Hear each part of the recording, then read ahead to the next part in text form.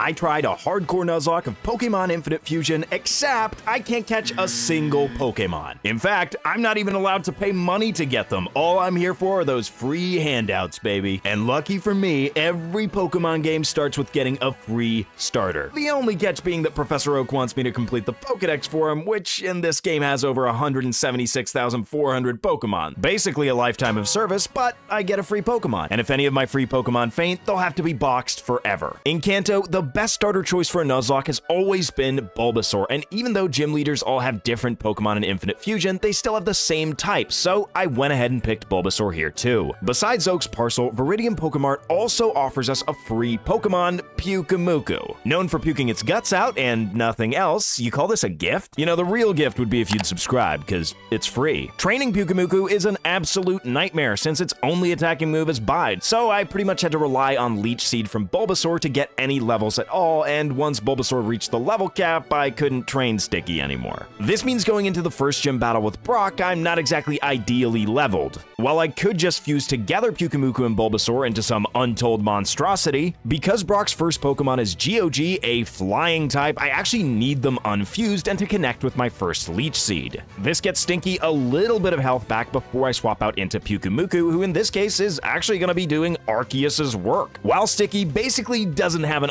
offensive presence to speak of, its defenses are both base 130, which is pretty incredible. We're almost getting the same amount of health back from Leech Seed as we're taking from Gust. Rock Tomb ends up doing a bit more damage and lowering our speed, which doesn't really matter when your base speed is 5. I go for another Bide since it's the only thing I can do, and Geogy ends up going down to Leech Seed. Unfortunately, I'm locked into Bide as Dignix comes in, but with our massive defenses, a Dig still doesn't do too much damage, and I can get a switch into Stinky. I'm hit by Rage as I switch, and then outsped by Rock Tomb the following turn. Vine Whip deals massive damage, taking Dignix into the red, and a second Rock Tomb takes Stinky down to just 3 HP before I can finish off the fight to claim my very first gym badge. Listen up, buddy, you keep your stupid fish. If it ain't free, it ain't for me. With Bulbasaur evolving and just barely making it through the next rival fight, we've got to make preparations for the fight versus Misty. We're not actually able to get any new encounters, so I go with the only option available to me and fuse together Ivysaur and Pyukumuku into this. To support its bulb, Ivymuku's legs grow- what legs? Because we fused our only two Pokemon together, we're going into the boss fight versus Misty with only one. Here's the catch though, our new fusion is a grass and water type.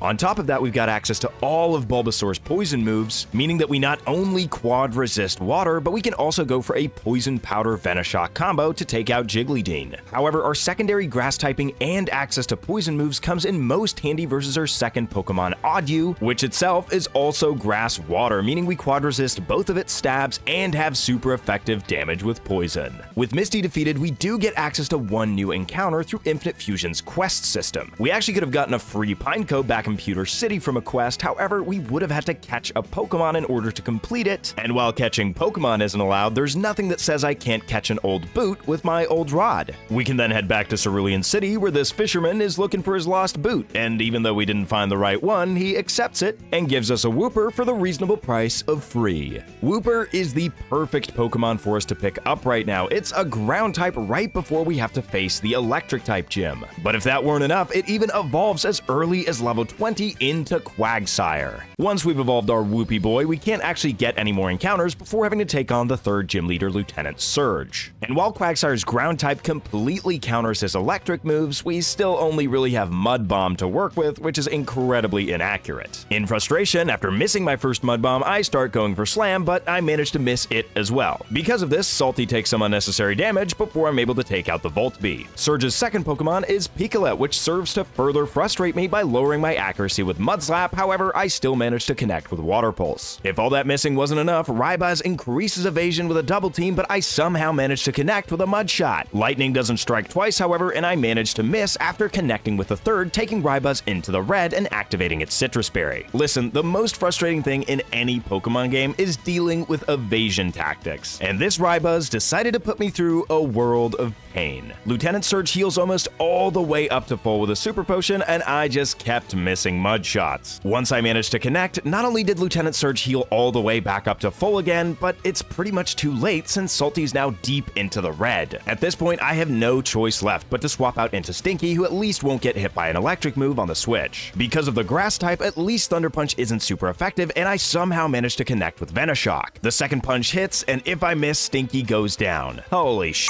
If I would have missed that Razor Leaf, we'd have to reset the run. Good job, Stinky. Well, that was a close call, but beating Surge means we can pick up a few free Pokemon. With access to Cut, we can talk to this lady at the daycare who gives us a free Pokemon egg. Then before heading east of Cerulean, I go to Bill's house. Bill wants us to turn ourselves into data and go to the virtual world to chase down a Pokemon. Under normal circumstances, I never go along with this. Seems like a terrible idea. However, I did say there's nothing I wouldn't do for a free Pokemon, and this Porygon is an amazing one to get. The only reason Porygon is so good is because of the download ability, which is totally nuts. Finally, before leaving, I spend about 10 minutes on my bike until my egg eventually hatches. The egg hatches into a Togepi, which won't even be able to be a good Pokemon for a very long time. I am able to evolve it into a Togetic pretty much right away, but the Togepi line doesn't really do much until it becomes Togekiss. On our journey towards Celadon, we have to pass through Rock Tunnel, where we can actually pick up our next free Pokemon from this guy, a Honedge. Didn't know we were playing Zelda instead of Pokemon, but I am not complaining about this gift. Before reaching Celadon, we make a pit stop in Lavender Town where we easily take out our rival. Hey, who you calling a stink? Oh, yeah, she is a little bit smelly. Reaching Celadon City, you might think we have a ton of gift Pokemon to pick up, but the ones we buy at the game corner, we have to buy, so they're unacceptable. This means there's really only one free Pokemon to find here, and it's the free Eevee. Well, okay, it's not exactly free in the full sense of the word, since this lady does want us to take Eevee for a walk before she actually gives it to us. However, since I've already given my entire future to Professor Oak's dream project, I don't really see the problem with receiving this free Eevee for a simple walk around town. With the level cap at 35, a lot of our Pokemon can actually evolve, the first of which being Stinky into Venusaur. Second is Pointy, evolving into Doublade. And finally, with a simple purchase of a Thunderstone from the department store, Fluffy evolves into Jolteon. Then take that Jolteon and fuse it together with Porygon to create Porygon. With our newest abomination created, we're ready to take on the fourth gym leader, Erica. The reason it's so powerful to fuse together Porygon with the Jolteon isn't really because of download since we only get an attack boost, but because we get access to Ice Beam. This allows us to immediately one-shot the Exegguduo before we have to swap out versus Tanape and go into Sunny, who can tank a Seismic Toss. I'm then hit by a second Seismic Toss, taking me down into the red, but I can retaliate back with a Flamethrower, dealing massive damage before I've got to swap out into Pointy. This way, I dodge Seismic Toss with my Ghost type, and Ancient Power barely does anything, simply allowing me the KO with an Aerial Ace. Erica's final Pokemon is Vileplume, and since I resist Grass, I figured I was fine here, but Pointy actually takes a ton of damage from Solar Beam, so after Vileplume just barely survives another Aerial Ace and gets some health back from a Sitrus Berry, I'm forced to swap out, this time into Fluffy, and again, I just get an attack boost. Fortunately, even without that special attack boost, Ice Beam is still doing over half, allowing me to take out the Vileplume in a couple of Ice Beams and granting me the fourth gym badge. With Fuchsia City's gym coming up, we're not actually allowed any new encounters, so I decide to fuse Pyukumuku and Quagsire, and what do you know, Pukasire gives the video a thumbs up. Take the hint and just like the video. Koga is a deceptive gym leader in this game. He's not the type of boss that's gonna take you down with hard-hitting moves, he's gonna whittle you down over time with poison. Unfortunately, my one steel type gets immediately critical hit. Not a fantastic start since I'm gonna need as much health on Pointy as possible, unfortunately getting down into the yellow before I'm able to take out Venomer. Beether is next, so I've gotta swap out, sending in Fluffy, who once again unfortunately gets an attack boost. Toxic Spikes come down on the switch, and then the Beether goes for an agility, as unfortunately Thunderbolt doesn't quite do half. Luckily, it seems to just have been a low roll, however, since a second Thunderbolt is enough to take Beether out, sending in Magnafing. Fluffy doesn't have any great moves to hit this thing, so I swap out into Sticky, who immediately gets poisoned. Yeah, if we're gonna have to swap around a whole lot, this is gonna become a huge problem very quickly. Unfortunately, Surf is not doing nearly enough damage, so I am forced to swap out, sending in Fluffy, who also gets poisoned. This time around, however, I do get the special attack boost from download, giving me the confidence to just one-shot Magnafang with Thunderbolt. Finally, Koga has the bulky Chinook, and my team is looking pretty sad. Everything's taken a lot of damage or is poisoned or both, so I'm forced to swap into my only Pokemon with full health, Stinky. This means I can absorb the toxic spikes, but Takedown is doing a lot more damage than I expected it would. My leftovers have given me just enough health to survive another takedown, and this time I managed to land the Leech Seed. The Leech Seed is going to be incredibly important here, giving us so much health back because of Chinook's massive base HP. Finally, I can swap into Pointy, who's kind of the perfect Chinook counter since it can't hit me with any stab moves whatsoever. The combination of Ghost and Steel is just immune to both normal and poison. However, because Chinook has Double Team and Soft Boiled, that Leech Seed is gonna come in very much handy. Because of Double Team, there's no guarantee I'd be hitting a single Brick Break, so with the Leech Seed, I'm pretty much guaranteed the victory, granting me my fifth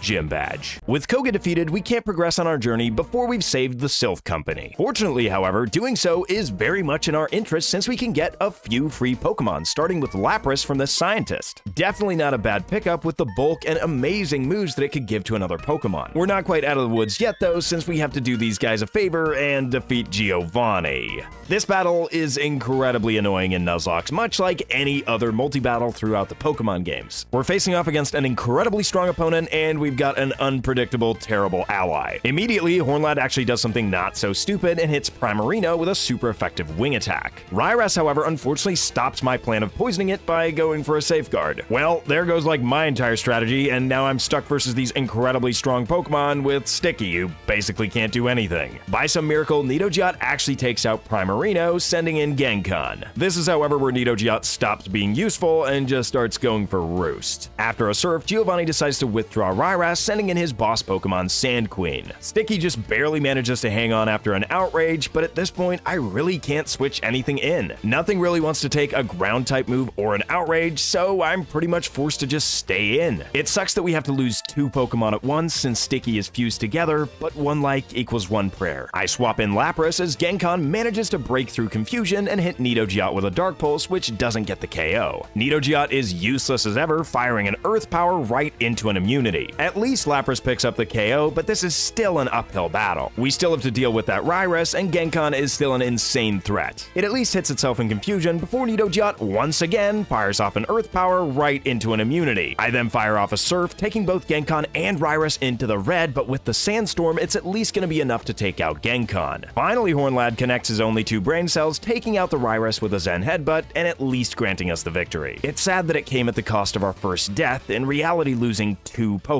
Luckily, helping out the richest man in Kanto comes with perks, the first of which being my choice of the three Johto starters. The second of which being a free Master Ball, which I can't do anything with. Having freed Silph Company means we can get a lot of upgrades for the team, starting by evolving into Feraligatr. We can also take the train to Goldenrod City, allowing us access to a lot of evolutionary stones, meaning we can finally evolve Togetic into Togekiss. It also means we can get our hands on a Dusk Stone to evolve into Aegislash.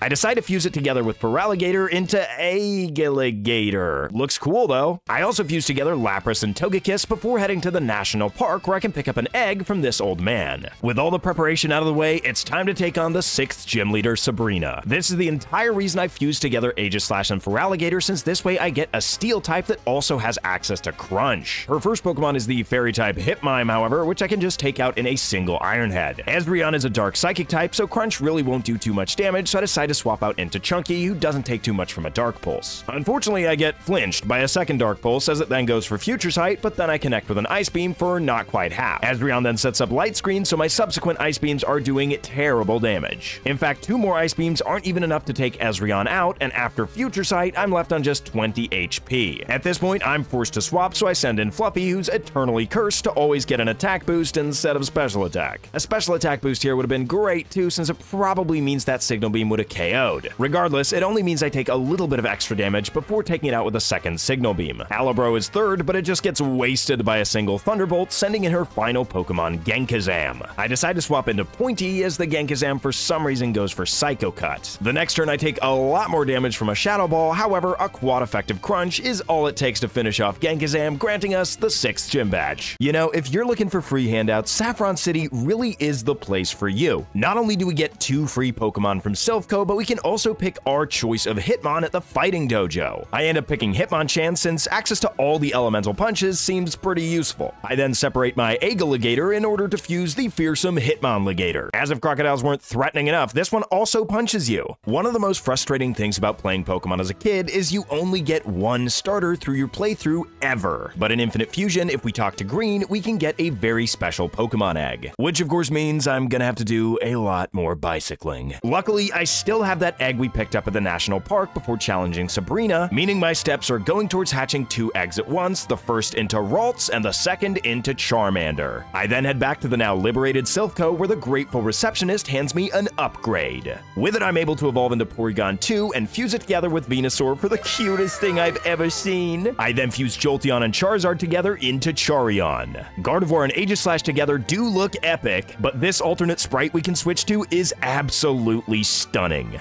Finally, before taking on Blaine, I take on these Beedrills in a side quest where we don't have to capture any Pokemon at all, which in the end gives us a fossil reviving into Aerodactyl. Going into the fight versus Blaine, I felt incredibly confident, which is a feeling you should never have during a Nuzlocke. Initially, things go exactly to plan. A Flying Gem boosted Air Slash is enough to just take out Glue Dash in one shot. Magdon is second, so expecting a quad effective ground type move here, I swap into Hangry, who of course dodges it with its flying type. I then go for a Rock Tomb, dealing way more damage than I was expecting before Fire Punch barely does anything. Blaine starts healing up, but once again, a second Rock Tomb takes Magdon below half, which means a third Rock Tomb is all it takes to knock Magdon out. Third out is Blaine's 9-9, which again is a pretty sus Pokemon for a guy with a mustache to have. Yummy comes in on a Volt Absorb, but unfortunately I miss my Thunder as 9-9 hits a Confuse Ray. Not wanting to play the RNG game, I decide to swap out into Angry to tank a Fire Fang. Expecting a Thunder Fang, I switch again into Yummy, but 9-9 goes for another Confuse Ray.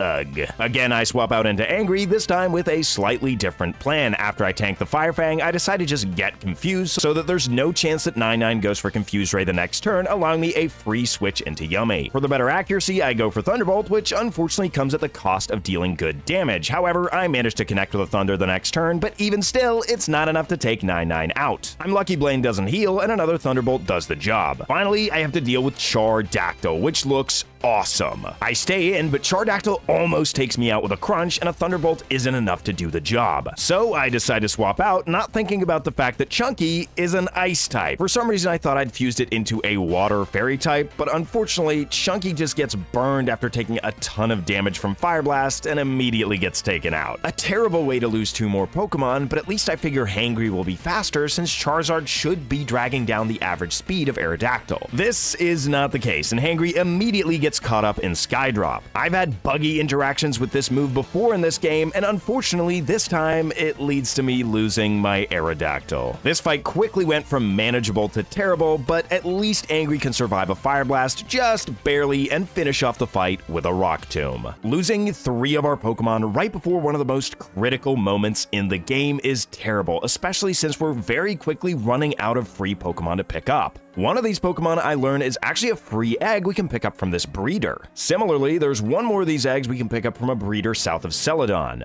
These eggs hatch into completely random fusions, so it's all luck of the draw, and I'm pretty happy to get Tauros and Abra. That said, I'm way more stoked to get my favorite Pokemon Dunsparce and Snubbull in the second egg. And having both Snubulls Intimidate and Fairy type is actually a huge boost to the team. So I evolve it into Snubsparce. However, Alaros I end up taking apart, so that I can put my two Glass Cannon Psychic types together into Gardevoir. This means I get to fuse Aegislash with Tauros, which actually looks really awesome. Now that we managed to scrape together a full team, we can think about taking on one of the toughest bosses in all of Pokemon history. Mary Giovanni has managed to fuse together all three of the legendary birds, and on top of that, he gets three attacks for every single turn, making this an insanely difficult boss fight. However, with the Pokemon available to us, I put together somewhat of a plan, starting out with a Fire Gem boosted Fire Blast to immediately take out Zapmalkuno A. This puts us in a great position since Yummy resists both fire and electric types. I managed to get Zapmalkuno M incredibly low with a Thunderbolt, but get very low myself before I can finish it off with an another Thunderbolt. It gets incredibly close, however, since a Drill Peck takes Yummy down to just 8 HP, forcing me to swap out, this time into Derpy. This way I get an Intimidate to power down Drill Peck, but more importantly, I'm baiting out the Thunderbolt, allowing me to swap into Yummy and gain a lot of health back with Volt Absorb. Next, I swap out into Pointy to get yet another Intimidate, and this time resist the Drill Peck, doing barely any damage at all before swapping back into Yummy to gain even more of that Yummy health. Unfortunately, Zapdos sets up a light screen here, meaning that my Thunderbolts barely do any damage either. However, at least I can just continue swapping out to get myself back as much health as I need. So that's exactly what I do, once again swapping to Pointy to tank a Drill Peck before swapping back in Yummy to eat that delicious electricity. This happens exactly in time for Light Screen to wear off, so Fire Blast deals a massive amount of damage before I can finish off Zapdos' remaining health with a Flamethrower. I outplayed you this time, Giovanni. Before leaving the Sevii Isles, I pick up the Network Adapter, which when given to this woman gives you a choice of a Sinnoh starter. I end up picking Chimchar since this is the last encounter we're able to get, and then fuse it together with Tauros, which looks pretty insane. Also, since my Jolteon and Charizard fusion has now done what I wanted it to do, I fuse it together with Alakazam for Allion. Giovanni has not given up quite yet, challenging us to the final gym battle. He starts out with Rhyperior, but it's time for our starter to make another star appearance. I immediately lock myself into Petal Dance, which with a Grass Gem just immediately takes Rhyperior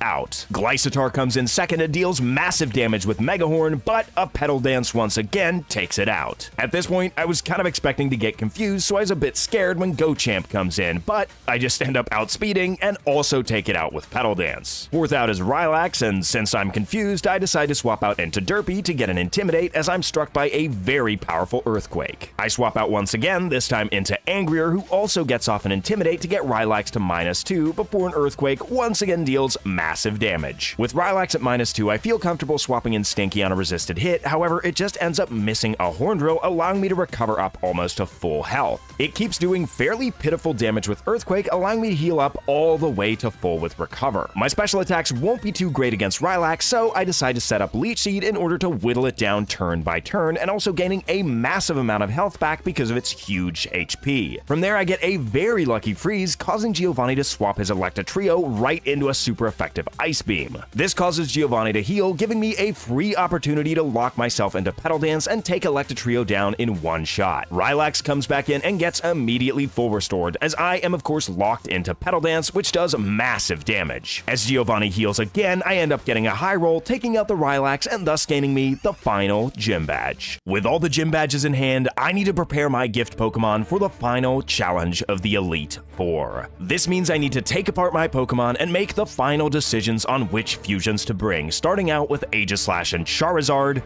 into possibly the coolest combination I've ever seen. I then head back to Goldenrod to pick up a dubious disc to evolve into Venugun Z. Yeah, we need to reverse this thing's fusion as soon as possible, and luckily, the other form looks absolutely amazing. And with that, my final Elite Four team was assembled, starting with Stinky with Adaptability, Petal Dance, Ice Beam, Recover, and Leech Seed. Angry with Close Combat, Earthquake, Ice Punch, and Crunch. Fluffy with Psychic, Thunderbolt, Psyshock, and Shadow Ball. Angrier with Close Combat, Flare Blitz, Acrobatics, and Mach Punch. Derpy with Play Rough, Earthquake, Brick Break, and Ice Fang. And Pointy with Flamethrower, Air Slash, Shadow Ball, and King Shield. My first Elite Four opponent is of course Lorelei with her team full of ice types. She starts with Magong, leading me to send in Fluffy. This way I can begin with an Electric Gem boosted Thunderbolt, which will just take Magong out. The Dark Ice type Weirus comes in second, so I decide to swap out into Angry. This way I can resist the predictable Dark type move, which unfortunately gets a critical hit twice in a row. However, that still doesn't stop me from landing the quad effective Close Combat to take Weirus out in one shot. Gingrowth comes in third, so I swap out into Pointy. Pointy's then hit by a Draining Kiss, which he quad resists, he's pretty much given up on love, subsequently sending Gingrowth to the afterlife with a flamethrower. Fourth out is Lorelei's Tentester, which we can't stay in again with our fire type, so I swap out into Fluffy. Tentester then sets up Stealth Rock, which unfortunately isn't going to stop it from being one-hit KO'd the next turn by a Thunderbolt. Finally, we have to deal with Mambro, so I swap out back into Pointy, who only has to deal with an Ice Fang on the switch, before once again delivering a devastating one-hit knockout with a flamethrower. Our second opponent is Bruno, and admittedly, our team is a lot weaker to fighting than Ice. I once again decide to lead with Fluffy since a Psychic Gem boosted Psychic is enough to take out his lead Mavire. With one down, he sends in his second Pokemon, Marichan.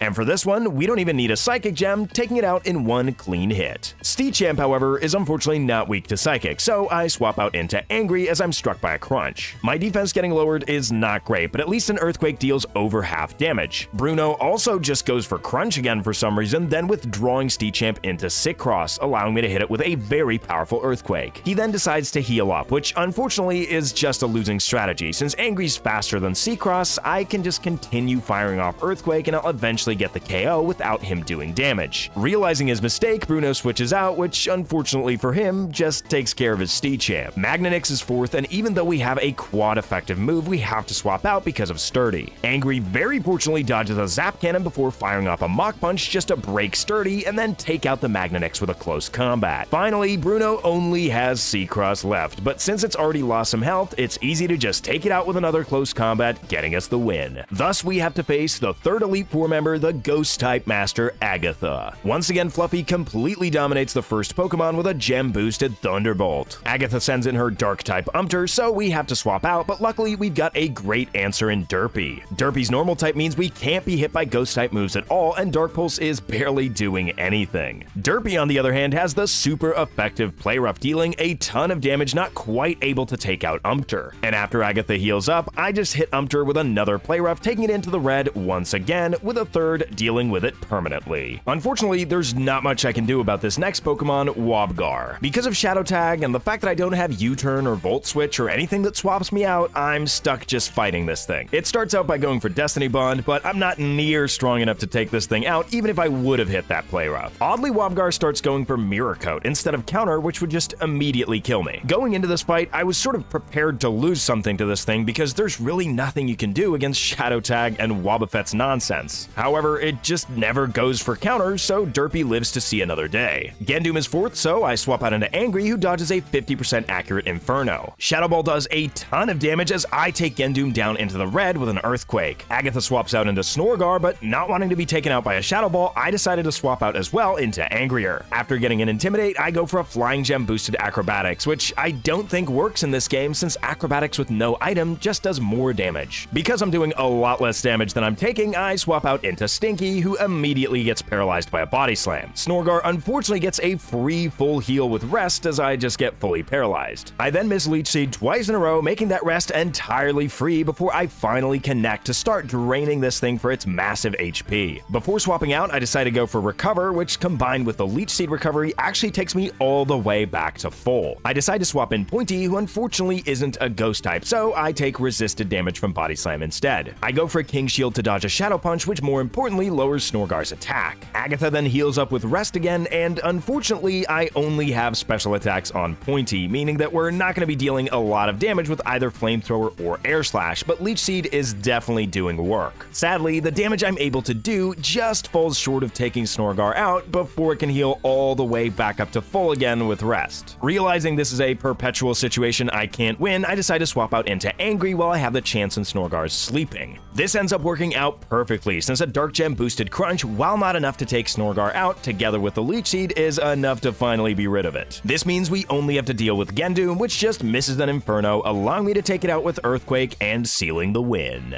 Because Agatha's Wobgar decided to be merciful, we actually have six Pokemon going into the final Elite Four fight versus Lance. Instead of leading with Fluffy, this time I send in Stinky, who's just barely able to tank an Outrage and set up a Leech Seed against Dragados. Now that I've got the Leech Seed out and know that I can swap in my Fairy type for free against an Outrage, I send in Derpy, who also lowers Dragados' attack with Intimidate, and it gets confused. Dragados does manage to break through Confusion just to set up a Rain Dance and immediately go down to a Fairy Gem boosted Play Rough. That's one of Lance's threats dealt with, and second out is Toganite. The worst it can do to me is Moonblast, dealing a whole ton of damage before Derpy's Play Rough under-delivers massively. Forced to swap out, I swap into Pointy, who can quad resist Moonblast, however, Lance just decides to heal all the way up to full. Lance goes for the Moonblast, dealing pathetic damage, but unfortunately getting a special attack drop, meaning my Flash Cannon doesn't quite do half. Toganite fishes for the Omni Boost with Ancient Power, but doesn't quite get it, allowing me to hit a flash cannon, taking it into the red, but also getting that special defense drop. Once Toganite's fully healed, it goes for another ancient power, but this time my flash cannon is dealing way more than half damage. I'm hit with an outrage, which is just barely not enough to take me out, allowing me to finish Toganite off with another flash cannon. Tyrannodactyl is third, and there is no way I can stay in against this thing. I swap in Derpy just to get an Intimidate off, however, it's hit by a Dragon move, which doesn't affect it, so I can keep it alive and swap in Angrier. This way I get a second Intimidate, and Tyrannodactyl even misses a Head Smash. Sadly, Angrier doesn't really have any moves to deal with this thing, so unfortunately, Derpy has to meet its end. With a free switch, Fluffy can do its thing and take Tyrannodactyl out with an Electric Gem boosted Thunderbolt. Second to last, we face Porydra, which, unfortunately for Lance, gets an attack boost instead of special attack boost. It deals quite a bit of damage with Tri-Attack, so I decide to swap out the next turn, sending in Angry. Dragon Pulse connects, almost dealing half of Angry's health, however, since Angry's faster, a close combat will be enough to leave Lance with only his final Pokemon. Typhnair really isn't that big a threat to Angrier, so I can freely swap it in, taking Typhnair out with a few acrobatics.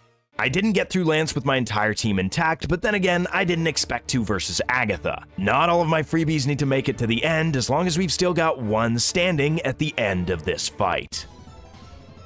My team and I are here to show the world that cheap may be good, but free is always best. Hornlad sends in Nidogeot, so I send in Fluffy to even the odds and take it out with a single Electric Gem boosted Thunderbolt. Immediately, I'm faced with one of the biggest problems on his team, Ripe Mortar. I need to weaken this thing, and unfortunately, I only have one Intimidator that's weak to Drill Run. I pivot out immediately from Angrier to Angry, who after the Intimidate can survive a Drill Run with above half health. I then go for a quad effective Water Gem boosted Aqua Jet, dealing a whole ton of damage. And because I'm able to survive another drill run, a second Aqua Jet seals the deal and taking Ripe Mortar out. Tautor comes in third, rudely intimidating Angry, so I swap to Angrier to intimidate it right back. Sadly, even after the attack drop, a Zen Headbutt is still enough to take out Angrier. My best option is sending in Pointy and immediately going for King Shield to lower Tautor's attack even further. Even though Tautor basically can't do any damage now, I still get flinched, so I have to wait till the next turn to deal some damage with Flash Cannon. Hornlad then heals up and starts fishing for flinches, but doesn't quite get so lucky and thus being hit by another flash cannon. I guess realizing that this is a lost matchup, he just goes for Giga Impact, which unfortunately for him means he has to recharge the next turn and allows me to take Tautor out with a couple of flash cannons. Next is Hornlad's own Charizard fusion, which unfortunately has mine outmatched, so I have to swap out into Angry, who manages to get off an Aqua Jet before getting taken out by Hydro Pump. Already Hornlad has even the odds, and we're both down to three Pokemon, so I send in Fluffy as he heals up to full, and Thunderbolt deals a massive amount of damage. In fact, a second one just wipes his starter out. Fifth out is Electados, which with Dragon Dance is an insane threat, so I immediately swap into Stinky, who can easily tank a waterfall. Horn Guy then goes for the Dragon Dance, boosting his attack and speed, as I manage to connect with Leech Seed, at least giving me a little bit of health back. Hornlad could have hit me with anything here, but with his free rain, he sets up the rain, allowing me to hit him with a Petal Dance, which is enough to just take him out. Finally, Hornlad has Star Kazam, and if it takes us out, we should be able to seal the win with Fluffy. However, not even a rain-boosted Crit Surf is enough to take Stinky out, and in true poetic fashion, our very first Pokemon deals the final hit of the run. And that, ladies and gentlemen, is how I proved that you can use only free-to-play Pokemon to beat a Pokemon Infinite Fusion Hardcore Nuzlocke. That's right, you don't have to pay to win, not a single Poké Dollar. Let me know what you think the coolest fusion I used in this video was, and hey, feel free to subscribe.